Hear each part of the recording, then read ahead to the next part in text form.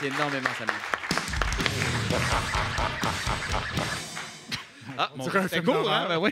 Allez-y, euh, Olivier. Grosse semaine pour la planète, Jean-Philippe. Ceux qui sonnent l'alarme devant les écologistes qui sonnent l'alarme se sont fâchés d'une vidéo produite par la Fondation David Suzuki qui propose de faire passer le droit de vote de 18 à 8 ans. L'auteur et journaliste Jérôme Blanchet-Gravel est allé s'en indigner à l'émission de Richard Martineau à Cube Radio.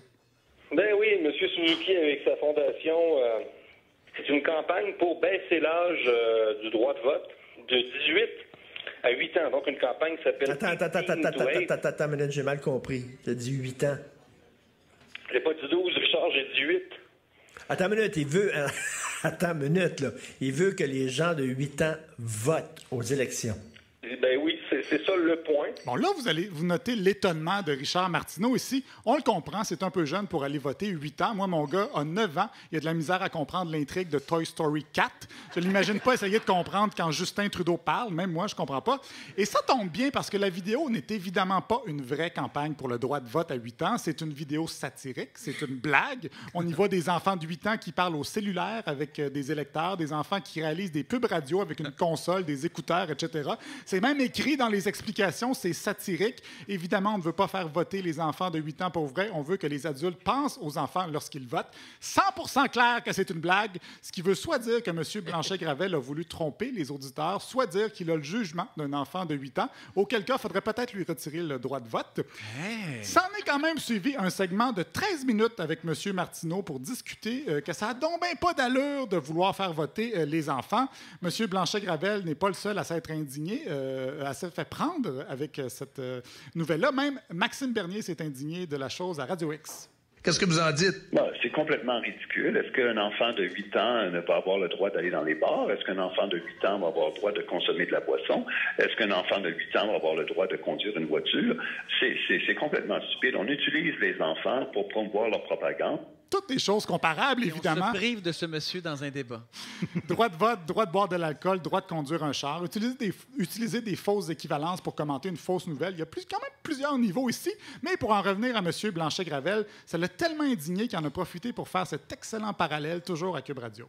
Il faut voir ça pour voir à, à quel point on est encore plongé dans l'irrationalité, mais la, la- la plus complète. là. Puis, sérieusement, actuellement, dans le monde, là, il y a juste deux courants politiques qui utilisent les enfants euh, pour promouvoir leur cause, les islamistes et les écologistes. là.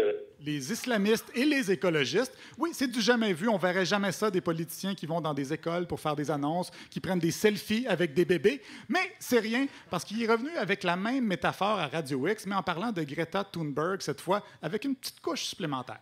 Actuellement, euh, dans le monde, il y a deux mouvements politiques qui se permettent d'instrumentaliser des enfants, les islamistes et les écologistes.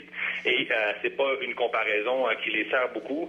Et euh, je veux pas en venir au point Godwin, mais dans ce cas-ci-là, j'en- j'ai vraiment pas le choix. Mais ça fait même penser un peu euh, aux jeunesses hitlériennes. Oui, les jeunesses hitlériennes, écologistes, islamistes, nazis, toute la même gang. Greta Thunberg, la jeune louve des SS. C'est jamais le fun d'être comparé aux nazis, à moins que ce soit euh, toi-même qui le fasse, comme le doc Maillot qui propose de réduire les impôts des familles chaque fois qu'ils font des enfants, jusqu'à trois enfants. Trois enfants, les familles ne payent plus d'impôts sur le revenu familial. Ça, c'est un incitatif financier de Mayou pour que les meilleurs éléments de notre société se reproduisent. C'est de l'eugénisme. C'est comme ça que ça s'appelle, les amis. Mayou, c'est un nazi, autoproclamé. Il a quand même l'air fier de ça. Pas certain, par contre, que ça encourage vraiment les meilleurs éléments de notre société à se reproduire autant que les plus cheap. Imaginez un Québec peuplé de petits Pierre-Yves McSween partout. Moi, personnellement, pas sûr que j'aimerais ça être l'enfant qu'on a fait pour ne pas payer d'impôts.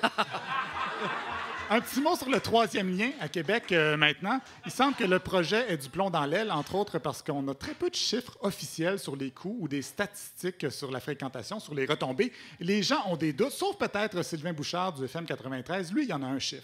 La réalité de Québec, là, on va vous en donner des chiffres. Un heure pour partir de Lévis l'autre jour, m'en venir à Québec. Un heure. Un heure. Un heure. Bien pogné dans le trafic des ponts, tout le monde. Le pont de Québec, pareil. là. Pierre Laporte, anyway, un des deux. Une heure. Ça, c'est un chiffre, ça. Tout capable de comprendre ça. Bon, là, on va pas commencer à bâtir des projets sur des anecdotes. Ça, c'est jamais une bonne idée. Vous, vous avez un chantier dans la rue devant chez vous, Jean-Philippe. Vous cassez personne avec ça? Non! Il a- Il a-tu ajusté ça pendant l'heure? Wow! Un génie. Hey, Ah, il a tout réfléchi. On va finir avec un petit mot euh, sur les feux en Amazonie. Une situation qui nous touche euh, de plus près que l'on pense, si je me fie à Gérald Filion. Plus de 1000 nouveaux incendies ont été constatés, dont plus de 50% en Amazonie, selon l'Institut national de recherche spatiale. Quels sont donc les enjeux économiques en lien avec ces feux dans la plus grande forêt tropicale du Québec? Oui, Amazonie, la plus grande forêt tropicale du Québec. Et je vous laisse, je m'en vais pêcher le piranha. Ah, Je vous remercie. C'est notre meilleur Olivier Niquette, mesdames et messieurs. et de loin.